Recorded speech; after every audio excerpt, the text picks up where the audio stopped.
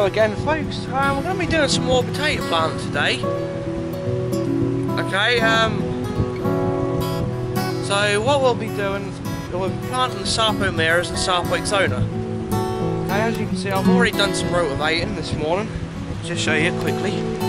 Okay, so I've done all this over just over here. So there'll be four rows in here, and hopefully I'll get four more row in there. So what I'm going to do now, okay, I'm going to put some put some of this on, okay, and then we'll uh, start planting. I've got my seed potatoes over here. Okay, it's uh, been a bit of a change again, so thought I'll plant the rest of the potatoes now. So instead of putting it, I'm going to put the rest of the vegetables in over there, sort of over that bit over there. So, but what we'll do, we'll just get get putting this on, okay.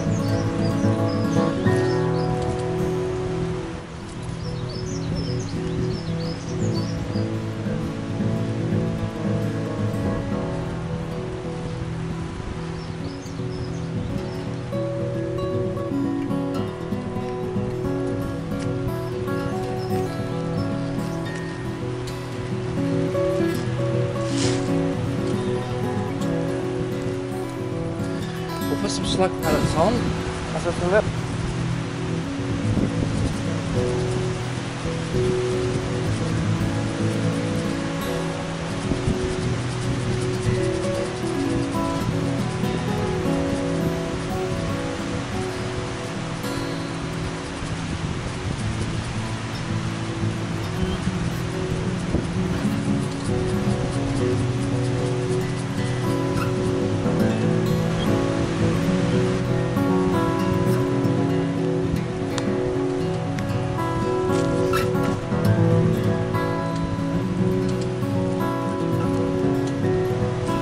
as you can see, with, uh, it's 19 inches long.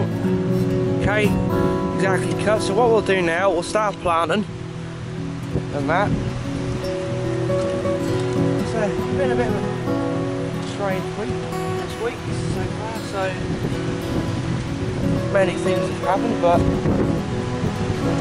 what I decided, before, you know, I'm completely now. So I'll start here. Clear enough sort of view.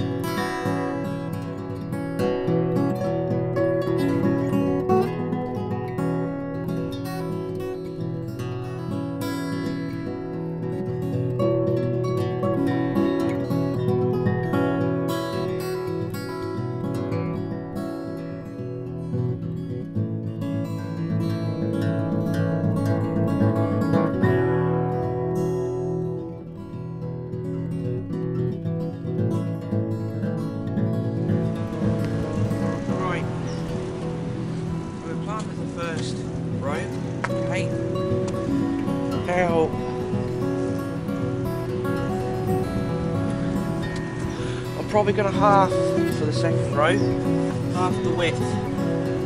So there's you know there's more seed, much smaller. So I'll ridge this one, ridge this one up, and then we'll we'll start on the on the other one.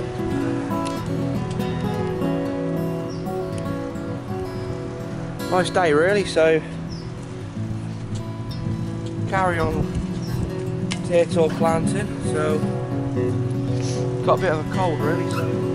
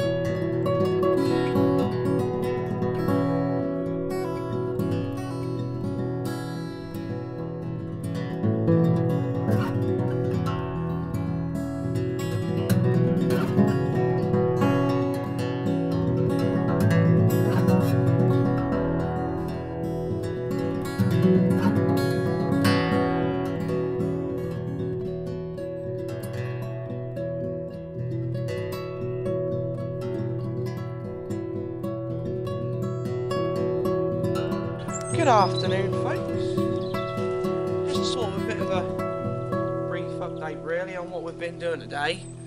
Okay, um, what we've basically done is today is we've um planted four rows. Okay, today we planted the Sarpo Mira and the Sarpo Axona. Okay, so what we're all going to put in here, what's in this bit here, we're going to put um Kestrel, Cara, Saxon and Romano. That will be all the potatoes that we planted this year, okay? There, we'll put other little vegetables, other little bits and pieces. Put these a bit through there, okay? One more going and that'll be done, okay? I'll put the manito in there, okay? Over there, okay? It'll mainly just be, um, basically just hit down with the cultivator. Just going to quickly just make sure the camera's set, I don't look like she's sort of set very level, so... But as I was saying, basically, still not really set really. So what I was basically saying is, okay, we'll put other vegetables over there, okay. Um, so that's, that's rotated really nice. So I would sort of done it yesterday, really, sort of most of it. Um, but as I said, you know, that's leaving marked out. It's just a little path down, just down in here. Um, matter of fact, I looked at those potatoes that we put in over there the other day, or last Wednesday, as a matter of fact, and they got little roots on just like that. So it's just been, it's only been a matter of what, Wednesday, Thursday, Friday, Saturday, Sunday, Monday, basically about a week. And there's already significant growth. So I'm really sort of pleased that that's happened. So that soil must be a lot warmer than this lot over here. Because um, Red Duke York and the Kestrel is a slower sort of growth rate, as well as um, the Ramos, the Four Little Trials, and the Marquise, where the Paramount have got roots on there basically like that. So, in general, the bigger seed is a lot better, but that seed was a lot smaller. But see, the thing is, because the seed had been left for a long time and it started to go crinkly, okay, it had, um, you know, it was, as soon as it was put in the ground, it was ready to grow. So that's what's basically happened. Because it's been left for so long, it's got crinkly, so it's basically, as soon as it's ready, it's just ready just to grow just like that. So that's what's basically happened. Um, so same for the Paramount seed as well. Um, I'm not going to put fertiliser in this next four rows, okay? Because I want to do a trial. I've done this lot over here, the first six rows that we planted without it. Okay? This lot has had fertiliser. That lot has had general multi-purpose fertiliser as long as along with bloodfish and bone. Um, so it's just basically a trial period to see what we do to get the best yields. Um, probably tomorrow I'm going to carry on from up near the greenhouse where we started clearing. Clear all this in here if you can sort of see, okay? Sort of all this in here. Sorry I don't say, saying too well, I've got a poxy cold, so... But hopefully we're going to clear this tomorrow. Okay, um... But how I see it, you know, if you've got a cold and you're outside, it helps get rid of it a lot better and a lot quicker. So, if you, uh, I'm just going to show you the seed that we've got basically, okay? I'll just have a quick look. You can sort of see. Size seed that we've got, and it, if you look, it's a nice it's of a, it's of a nice quality. So if you look, so you've just got that, you know. So hopefully, come next Wednesday, these might have little roots on. You know, so it just shows that within a week, basically, you know, it's got it's already growing nicely. I mean, seed here, um, par the Paramount, the Romano, if you look, that's, that's nice quality as well. Um, Saxon, that's a nice sort of firm, sort of a, you know, a nice firm sort of shape, texture. As you can see there again. You know, so, you know, hopefully, see, because the ones that I've planted today, they're all going to be main crop, even though Kestrel, okay, and um, even though Kestrel and Saxon are a second early, okay, but because they're sort of a large, they're a large crop and potato, sort of, you know, so we want to leave them as late as possible to get bigger potatoes, okay, so we've done the four rows, if you can see here, I'll just show you quickly. We've done the four rows in there, okay? So, if you just zoom in a bit, okay? You know, you can basically see what we've done, okay? Um, what I'm probably going to do is take a few pictures of the whole plot, make a little collage. So, because I do, I like doing collage sort of stuff. But this is basically what we've done today. I'm to just, over there if you can see, okay, I've levelled that out over there. So what we'll do, we'll rotivate that soon, get it all marked out for tomorrow, and then we'll put another four row in. As you can see, my little little cat Merlin, little boy, bless him. He's a black tabby, but he's a good good little old thing, really. Just hope the little blighter don't come crap in my garden. So I can't stand cat shit. But that's basically, you know, just sort of, um, basically just sort of just what we've sort of done really today. So I thought I'd just sort of do a, a bit of a update. I know it's all changed again from what you've probably heard when if you've watched the Rotavator video yet. I've done this for the carrots, but it's just had a massive we had a massive rethink. I didn't want to go and chuck away all that seed. Um, you know, so I thought, bugger, I'm just going to plant it and hope we get the best. So hopefully, at tomorrow we'll be doing this, once we get this lot done. Know, once we get this done over here, once we get the planting done, then we'll focus on, hopefully, next week, over there. Okay? So, because what we're going to do, we're going to put some mixed flower seed in there. Um, I had a bit of a dig around the other day and there's, you know, more movement in the potatoes. So, you know, so hopefully, okay, that shouldn't, uh, shouldn't be much of a problem, really. So, I see, uh, I must admit, Dan, your onion sets, wherever you've got them from, look the, perf the most perfect quality. They look a decent size and looks, you know, look like they could produce quite a large sort of bulb. I must admit, your video looks pretty good, and that looks a good way of doing them. Your onions. Um, I see Chris on the allotment journal he's planted two pots of potatoes already. So spring is finally here and everyone's getting underway, which is a good sign. Um, the daffodils out the front they're getting the little yellow flower heads so, so hopefully there'll be some nice colours there. I know the tulips aren't having this yet. Um,